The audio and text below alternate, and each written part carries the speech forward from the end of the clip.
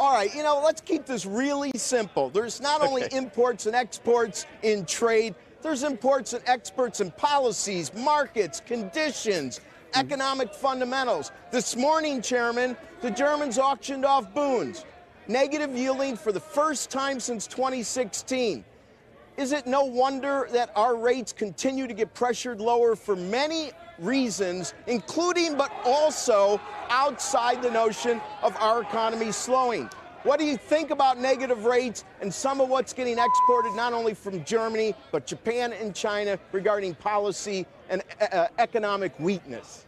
Right. Well, Rick, as you know, because you live right there on the on the floor, right? That our bonds are substitute for their bonds, and right now our ten-year is clearly responding to the negative news in Europe. And the news in Europe, the economic news, is really negative. If you look at industrial production, if you look at German GDP numbers, you know, three of the last five quarters are looking very close to, if not in recession. Uh, Italy's got a lot of stress, and the whole Brexit thing is lurking over all that. And so, if you had to say what's different this year from last year, you know, last year at this time we were looking at a weak first quarter, expecting a strong second quarter, but the rest of the world was kind of doing a lot better. Uh, this year we're looking at a weak first quarter. We still expect a strong second quarter and rest of the year, uh, but the momentum from Europe and the momentum from Asia is much different than it was last year, and I think that that's what the bond market's responding to.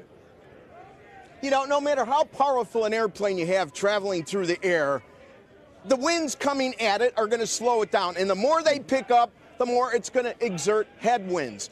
The U.S. economy has slowed a bit on its own. But the big question, Chairman, is how much is being exported to us as a headwind versus our own condition? And even if it's more overseas, what can we really do about it? I like the underpinnings of the economy, but there's little doubt that we're getting affected by our own coming off our best economic levels and much of Europe and Japan really going down the basement with regard to theirs. Right. Well, first of all, as you know, that since we have a big trade deficit, the, the feedback into the U.S. economy of negative news around the world is much smaller than it would be for, say, you know, a, a different uh, economy like, say, Germany, uh, where, where they really, really care about their exports to us. And if they were to go down because we were in trouble, it would really directly impact their economy. And so I think that basically for the U.S., the question is, as we look forward, uh, that are we more likely to have upside or downside surprises? And I think that the downside surprises really came over the last six months and involved the economies around the world. And there's not a lot more negative news that you know could be worse than what, what we've seen in those places. But there's a heck of a lot of upside risk uh, in this year, and I think that that's one reason why equity markets have really been able to digest everything. And the upside risk is basically last year at this time, I think there was a lot more uh, pessimism about us moving forward with trade deals. But now we've got USMCA uh, that that can pass Congress this year. We've got uh, Secretary Mnuchin and Ambassador Lighthizer flying to China today with these ongoing negotiations. There's a lot of upside stuff. Uh, that could happen. Meanwhile, deregulation is uh, continuing to gather momentum. Uh, we're expecting a lot more deregulation this year. So I think that in the U.S., the risks are balanced to being actually leading on the upside relative to last year, and that the negative news around the world is something to factor in. Uh, but since you can think about things that could break the other way for us, that you should continue to be optimistic. No, and uh, the things you mentioned are the tailwinds, and I am That's right. definitely on your side there. I think the regs, taxes, all that business friendly administration to me is the biggest deal. And we saw that rally in stocks reflecting that even before Donald Trump was sworn in. But we have to leverage more lifting but with regard to our domestic economy based on what's coming in. So I guess my next question is a simple one. That makes trade that much more important. And I think trade is outsized. I think that trade is the catalyst in so many areas that we're unaware of that should solutions be found, it'll really give us a turbo thrust. So my questions are simple. Some of the agreements, like you mentioned, that already done, is there going to be a problem pushing them through Congress? And more importantly, do you think that the China deal will include the trillions, not only the billions? Buying more grain is fine, but we really need to keep our eye on the big prize, and that's with a T, and that's IT.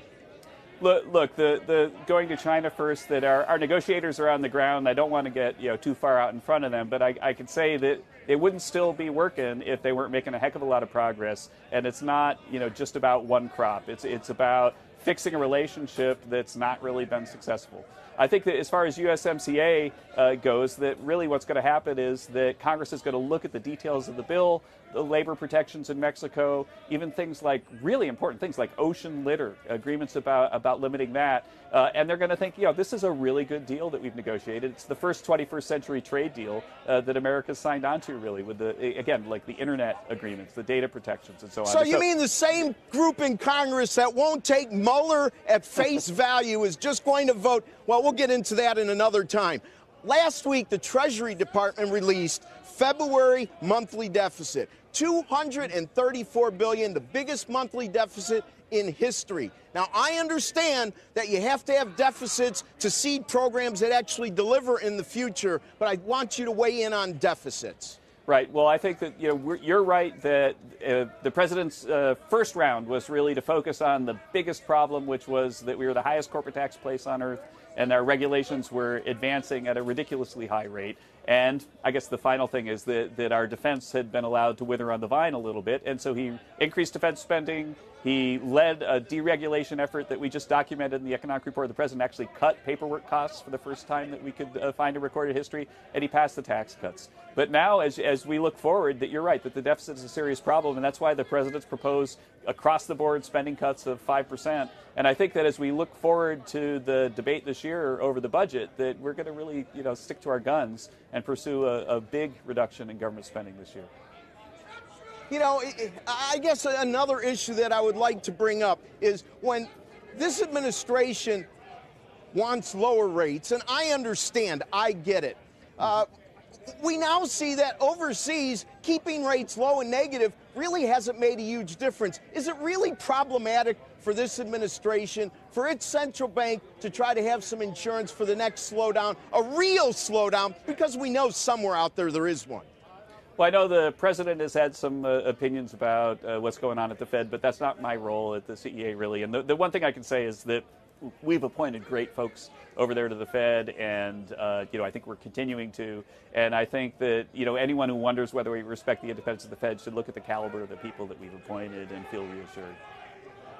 You've been on record saying that you think we have a shot at three percent for the next several plus years. I think you That's may right. have said five. And I'm not necessarily disagreeing with you, but you're certainly in the minority. Can you right. give me something in real time that gives you confidence that your prediction will be correct? Yeah, sure. That if you look at uh, business sentiment, the National Association of Manufacturers just put out a survey where everybody's looking to expand and optimistic about this year. I mean, it was a first quarter number. And so the fact is that we've gone from a business unfriendly environment with regulations expanding 8 to 10 percent a year uh, and the highest corporate tax place on earth to a really attractive corporate tax environment with rapid deregulation. And so I think that, that that's not a one year change. That's not just, you know, you're going to have a sugar high for a year and, and then go back to where you were. That's a fundamental change in an economy. And we should go back to you know the way we used to be, where we were growing around three percent, and it's something that we saw last year, and it's something that we're going to see this year. And and even while you've watched some of the numbers, uh, like in autos and, and, and, construction, look a little weak in the first quarter, you've seen really really strong wage and income growth, and that's wage and income growth is the kind of thing that usually has a lot of momentum, right? Because wages don't change that frequently, and to have high wage growth, high income growth right now, it's kind of like an insurance policy for strong growth this year. All right, you know, Chairman, I'm going to ask you one final question, whether you want to answer it directly or not. Stephen Moore is being put forth potentially for the Fed. Uh, many like Stephen Moore, nice conservative economist. But talking about a 50 basis point cut, personally, once again, I know you're not going to talk about the Fed, but is it really wise to be saying these things if you want to be on the Fed? Conservatism on the balance sheet is a good thing, on policy is a good thing, but who knows what lies ahead? Your final thoughts. Right. Well, I, I think that as the process moves forward, if Steve ends up being the nominee, that he'll have good explanations for his positions. And I think that you're right that he's gone through his career being a pundit and, and having really interesting things to say about a whole range of topics. But as a nominee, that you have to be more careful about every little word that you utter. And I'm sure that he's going to start, Uh, you know, pulling back his op-eds and preparing for confirmation should that arise.